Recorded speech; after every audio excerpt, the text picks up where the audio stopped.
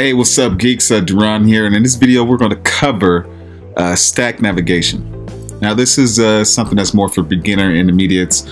Uh, React navigation changes up all the time. So basically, I'm going to go through uh, the setup for uh, stack navigation, and then I'm going to also show you how you can pass data from one screen to the other.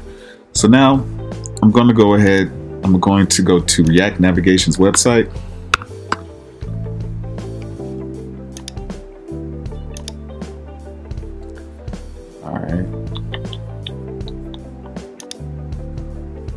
So getting started, I like to do everything with yarn. So I'm gonna copy that on my desktop. So I'm change my directory to,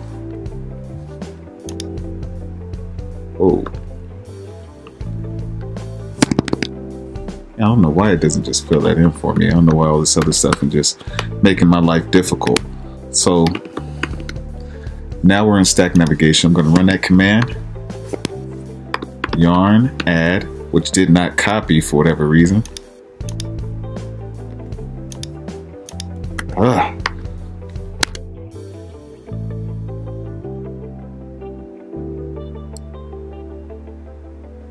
Now we have that package within our uh, project. I'm going to go ahead do the next uh, installation.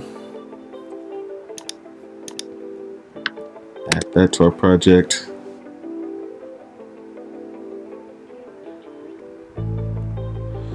Okay.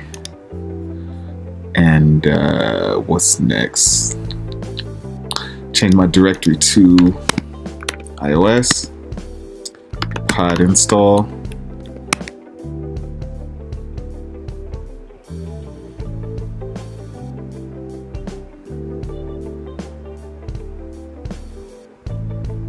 All right, now we're done with that. Go back one directory, go back to uh, React Navigation's website. Then I'm going to import in the index.js. I'm going to import this into my index.js file.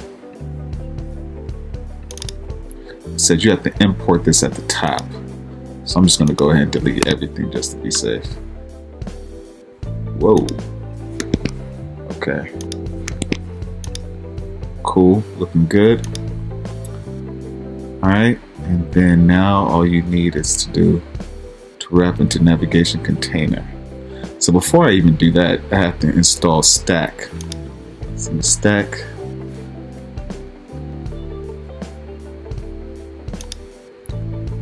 Okay. What's the installation of that though? Go back. All right, here it goes. So I'm gonna do run this command.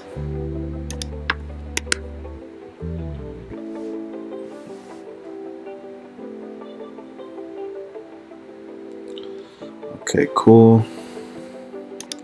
It's a lot of dependencies. All right, so while we're doing this, I'm actually going to stop Xcode. I'm gonna close this all out because we did that pod installation. So this wouldn't even run anyways. So I'm going to clear this out, run yarn, start. So something's already Something's already got this going on.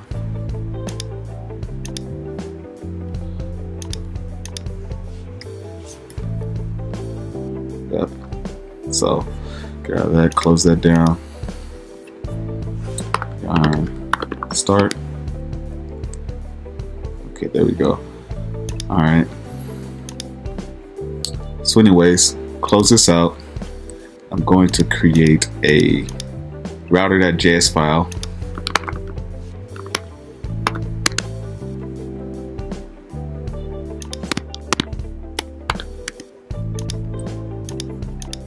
Okay, cool. Now, what's it want me to do?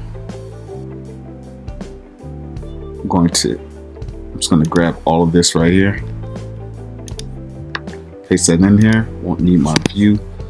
And then I'm going to import import my screen. So I have my home screen and then I have my post screen. All right. So now that I have that, I'm going to go ahead, copy this. Actually, we can copy all of this. Paste that in there just like that. And I have my home screen, and now I have to create one more. Call this my post. Now we're in business. So let me go ahead and need to run my project. Well, I need to open up Xcode. Go ahead and do that.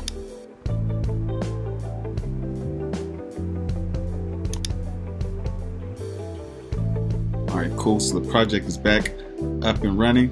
And as you can see, we have our awesome uh, Dragon Ball Z characters, Goku, Piccolo, Vegeta, and Frieza.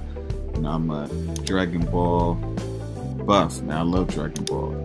But um, cool. Now we have the project up and running. I'm going to go ahead. I have to actually import my navigation. So let me go ahead and import navigation container. No. Export default app. No. I'm going to this is going to be navigation. Call it app navigation. This is going to be app navigation. Now I'm going to import app navigation.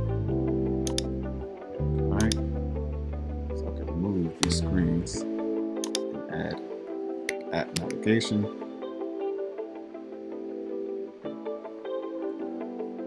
Oh, so I have to remove this header. So let me see how do you do that. Remove header.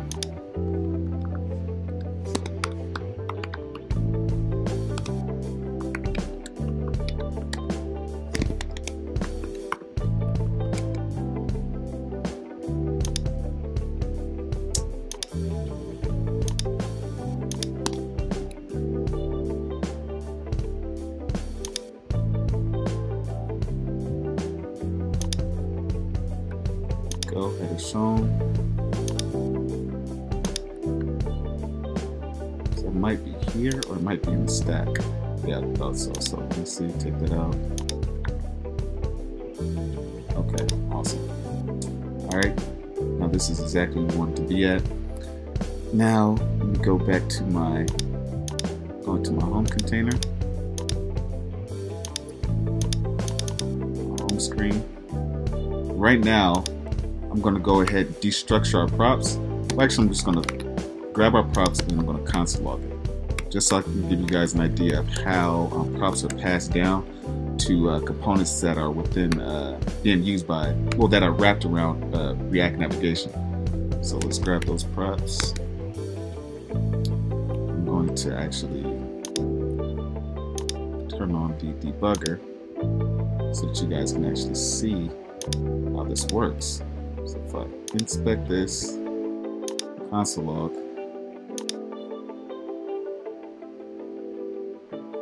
okay, everything's running in. And as you can see, these are our props, right? So we are each one of our components, each one of our screens gets all of these props. You can see we have a route prop and a navigation prop. Navigation has a collection of functions that are built into it that allows you to go from one screen to another screen and to also, you know, do other cool things. But what we're going to do, we're going to just go ahead and use the uh, navigate prop that's passed into our navigation. So I'm going to go ahead and just destructure our props. When you destructure our props, this is what it looks like.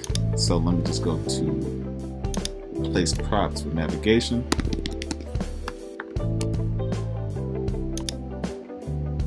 Now, as you can see, now we just grab all those functions from navigation. We don't have to uh, make any kind of reference to navigation because we brought it in. We just destructured our props. Now, what I'm going to go ahead and do, I'm going to apply the on press method to my uh, card. When I on press, I'm going to use my navigation prop, navigation.navigate. And if you remember, our post screen in our router,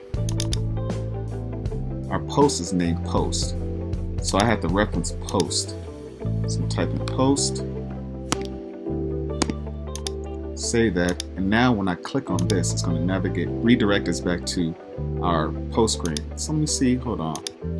I must have not used my post. That's what I'm thinking. That my router. Exactly. So I'm using my home screen. So I'm go ahead and just add post screen. Now, see how that works? So we click here, redirects us to the screen, and it includes more information that we can use. Now, you see that all the data is the same, regardless if we're picking, clicking on Piccolo, Frieza, Vegeta, etc. So we have to go ahead and fix that. Now, to actually pass our, um, our data from one screen to the other, by adding a comma to our navigate, we're actually um, allowing our next screen to grab all of the data that's tied to each specific card. So I'm going to go ahead and just console log our item so you can see how it looks. So item is what really actually contains our data. Say item.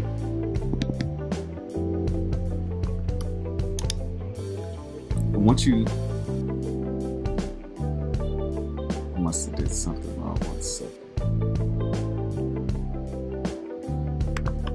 That's it was. Right?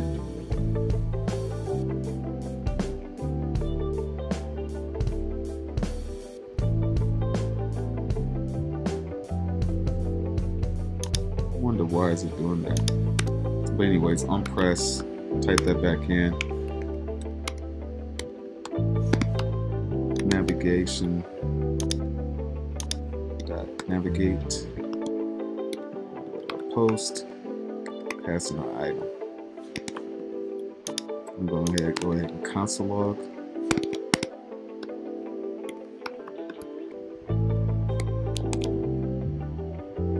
Our item, which holds our data.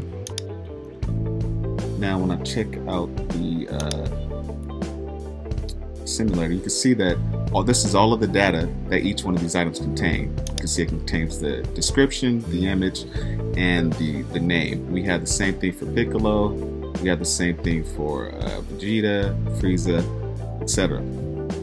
So when I actually click on, I'm going to go ahead and just click on Vegeta. Alright, so now because Vegeta is active, I'm going to go to the post screen. Kind of bothers me that, that, that it's doing that, but whatever.